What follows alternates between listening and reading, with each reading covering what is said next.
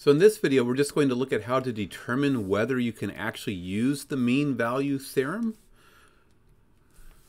So first example says determine whether the mean value theorem can be applied to the function f of x equals x squared minus 2x over the closed interval from 0 to 2. And the key is to recognize that the mean value theorem only has two requirements that need to be met. First, your function has to be continuous on the closed interval you're interested in, and then it needs to be differentiable over the open interval in which you are interested. And by differentiable, we just mean that the derivative of the function you're working with has to exist. So when I take this function in this example, and there's going to be multiple examples in this particular video, so we're starting kind of with the simplest possible case. So if we take x squared minus 2x, what we want to recognize is that we have a second degree polynomial.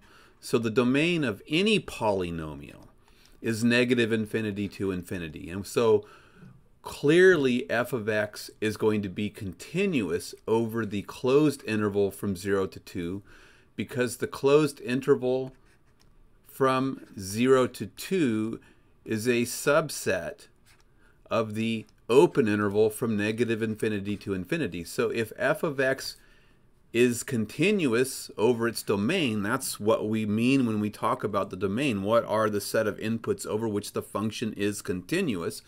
If it's continuous from negative infinity to infinity, then clearly it's continuous over the closed interval from 0 to 2.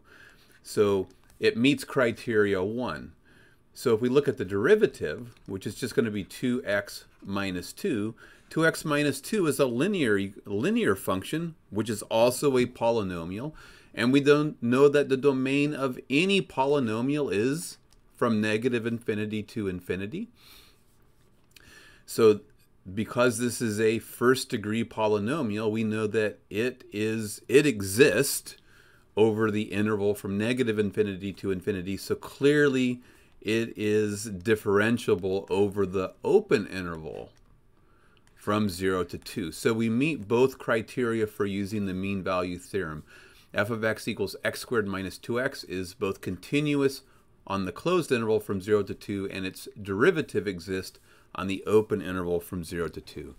So now we can look at this next example. We have f of x equaling x minus 1 to the 1 third. So we're taking the cube root of x minus 1. And the key here to recognize is because we're taking the odd root of an expression. The odd root of an expression is defined over the interval from negative infinity to infinity. You can always take the odd root of, of an expression.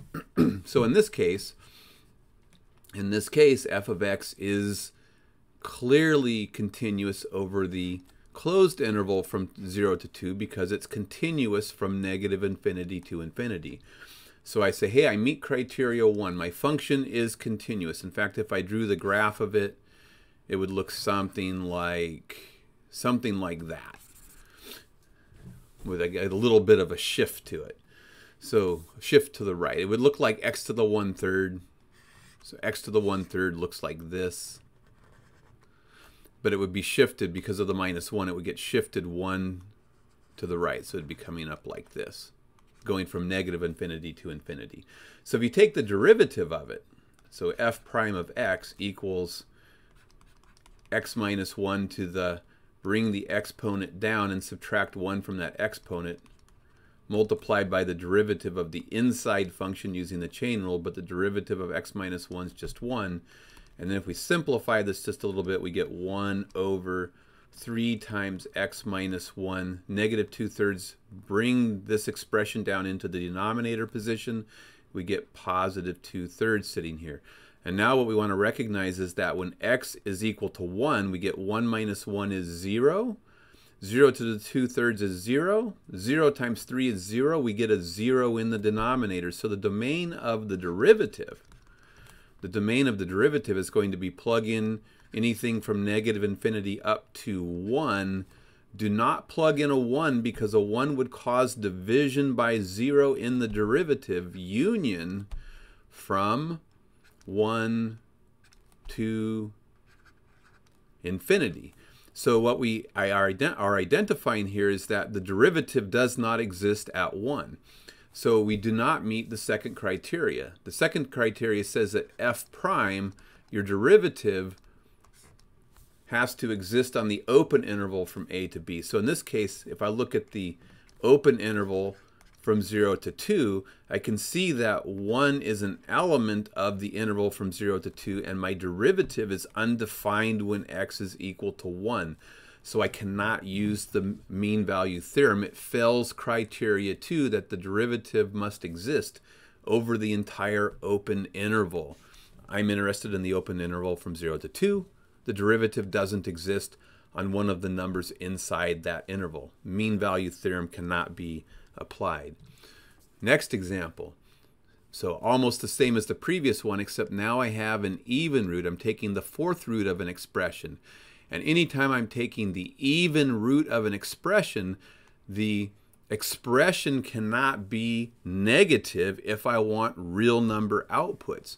So in this case, for the function f of x equals x minus 1 to the 1 fourth, we need to recognize we have an even root. There's an even number in that denominator position on the rational exponent. That tells us that the domain is going to be x minus 1 has to be greater than or equal to 0. In other words, x minus 1 cannot be negative. We cannot take the even root of a negative and get a real number output. So x must be greater than or equal to, adding 1 to both sides, 1. So I fail criteria one that the function needs to be continuous on the closed interval from a to b. We're working with the closed interval from 0 to 2, but my function doesn't start until you get to uh, x equal to 1. So the domain of this function is x is an element of the interval x greater than or equal to 1 means from 1 to infinity, the half open interval from 1 to infinity. So my function is not continuous over the entire interval. I cannot use the mean value theorem. I fail criteria one, so I don't even need to check whether criteria two differentiability holds or not because I know I failed criteria one. And if you look at the graph of the function, it kind of drives that home. We're trying to use the mean value theorem over the interval from zero to two, but the function isn't continuous through here. In fact, it doesn't start until you get to 1, and then it runs to infinity. So there's a, a way that we can fail uh, being able to use the um, mean value theorem. So here I have the absolute value function, f of x equals the absolute value of x. And the absolute value of x, the domain of it is from negative infinity to infinity. So life is good uh, because we're clearly going to be continuous. Our function, f of x, the absolute value function, is continuous from negative 1 to 1 because it's continuous from negative infinity to infinity. That's the domain of the function. The problem is that the absolute value function has a cusp when x equals 0. So we know that der uh, derivatives don't exist at cusp so that cusp is occurring. There's a cusp at x equals 0. So f prime of x does not exist at x equals 0. And 0 is an element of the open interval from negative 1 to 1. So we fail criteria two that the derivative has to exist over the entire open interval.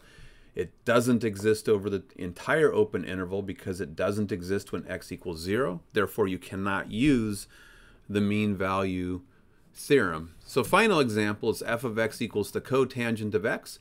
And we want to know, can we use the mean value theorem applied to the cotangent function over the interval from 0 to 2 pi? So if we look at the cotangent function, what we're expected to, to remember without looking at the graph, without sneak peeking at the graph, what we're supposed to remember is that the cotangent function has vertical asymptotes asymptotes